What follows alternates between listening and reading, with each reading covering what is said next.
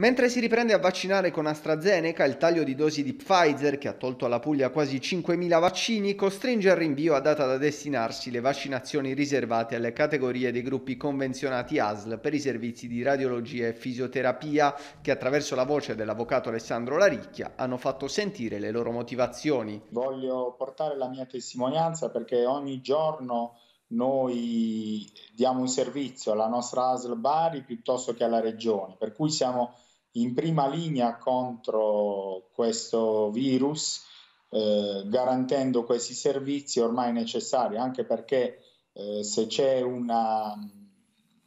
veniamo immediatamente a capo della, del virus, possiamo riuscire a far ricoverare prima i nostri pazienti.